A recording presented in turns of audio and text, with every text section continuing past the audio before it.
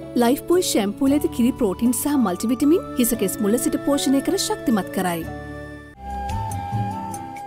මෙවර අවුරුදු නැකත් සීට්ටුව අනුව ඒ රාත්‍රී අටයි විසිතුනට සිංහල දෙමළ අලුත් අවුරුද්ධ උදාවනා.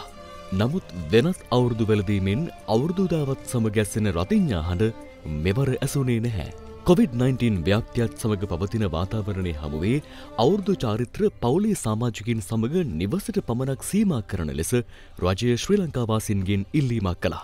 එයනුව පුුණ්‍ය කාලයේදීත් නිවසේ සිට ආගමිකවත් පිළිවෙත්වල නිරතවීමට ජනතාව කටයුතු කර තිබුණා.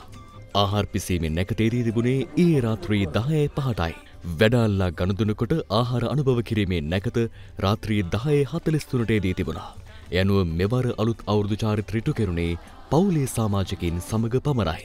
එමෙන්ම COොVID-19 ව්‍යාප්තිය සැලකිල්ලට ගනිමින් සති කිහිපයක් මුළුල්ලේ මත්පැන් අලිවිසැල් වසාදැබීම නිසා මෙවර මතින් තොර අලුත් අවුරුද්දක් නිර්මාණය වී තිබූ අතර එහේතුවෙන් වෙනත් අවුරුදු දිනවල වාර්තා වූ ගැටුම්ද ඊයේ වාර්තා වූයේ නැහැ.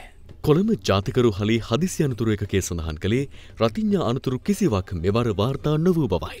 කෙසේ වෙතත් අඩදබර ඇතිවීමේ සිද්ධි එකොළහක් සහ රියනතුරු හයක් සිදුව ඇති බවට වාර්තා වූ බව එම එකකය වැඩිදුරටත් සඳහන් කළා.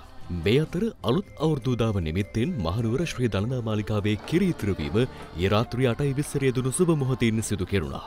ඒ දියවඩන නිලමේ ප්‍රදීප් නිලංග දෑල මහතාගේ සහභාගිත්වයෙන්.